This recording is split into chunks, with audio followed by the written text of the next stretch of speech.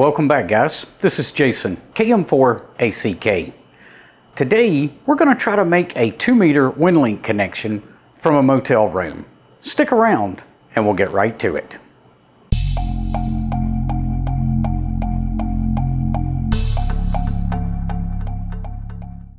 Okay, so I'm hoping you guys can see right over here my little two meter uh, everyday carry kit that uh, I like to keep in the vehicle with me. Uh, this time on this particular trip, I'm actually not even in my Jeep, I'm in my wife's Jeep. So this is definitely super handy. I've been rocking the Yaesu FT5DR for the entire trip uh, from Nashville down to Orlando.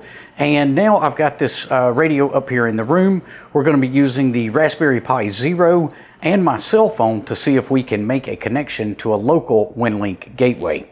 Let's see if I can have any success. Okay, so the first thing I did is I do have a GPS hooked up to the Raspberry Pi so I can get my current grid square. Then, knowing the current grid square, I went ahead, it's Echo Lima 98. I went ahead and used a packet list that is stored on the Raspberry Pi and just did a search for Echo Lima 98. Now, with that information, uh, or, or, with those search results, I came up with, and pardon my terrible penmanship, but I came up with four different stations that we may can possibly hit from our current location. So I'm to go ahead now. We will uh, have to key the, each of these frequencies in manually because this does not include rig control. But I'll go ahead and key these in and then we'll try to make a uh, two meter packet connection to each of these stations. Well, we'll go through the list until we make a connection or uh, fail if we uh, can't get any of the four. Let's go ahead and give this a try. First thing I've got to do is I've got to get this Mobilinkd TNC2 connected up to the Raspberry Pi via, via Bluetooth. So that's going to be first thing that I need to do. So let's see if I can make that happen. Just told the Raspberry Pi to connect. And if this gets a slow flashing light, uh, flashing, slow flashing blue light, we'll know that the connection is successful. Takes it usually, I don't know, 10, 15 seconds or so. And there we go. We've now got that slow flashing blue light. So that tells me that this connection is successful over Bluetooth. So now we can just go ahead and open up Pat WinLink on the phone, uh, key in the frequency to the radio, and try to make those connections.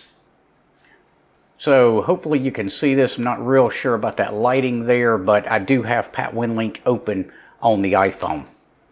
So we'll go ahead and key in the first frequency, uh, 145030. So let's see, I need to get into manual mode and then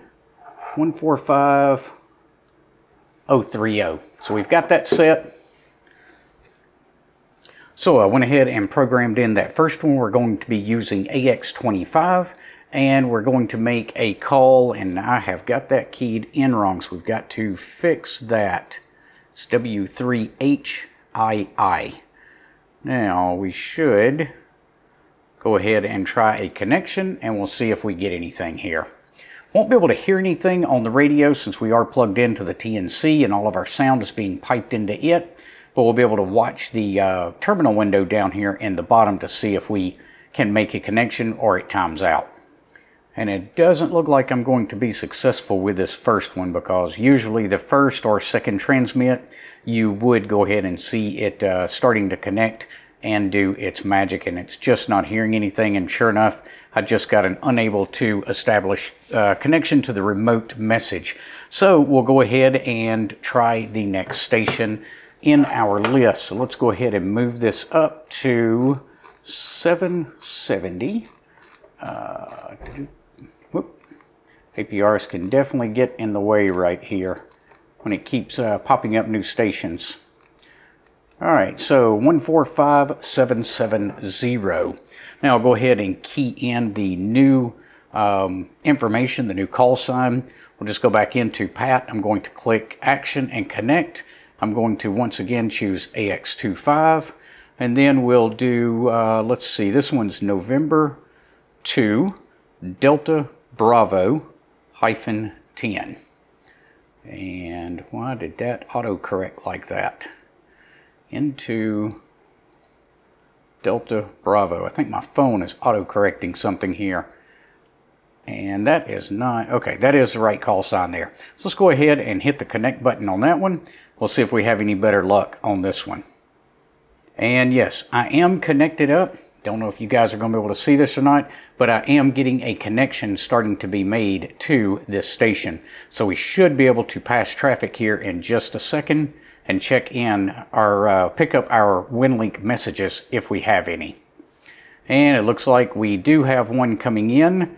Uh, it's going to be a test message uh, coming in from KO4 uh, Bravo Charlie November, I believe that is.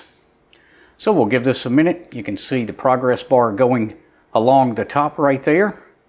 And that's it. We're finished up. So guys, that's how I make a connection from a motel room traveling on the road with a kit and everything fits in this little bitty bag. I've done a video on this in the past, so you can go and check out my uh, 2 meter go bag or might have called it my EDC bag or everyday carry bag. But this is what I take with me when I'm on the road and I can usually get a connection with it. All right, we'll see you guys on the next one. Until then, 7-3.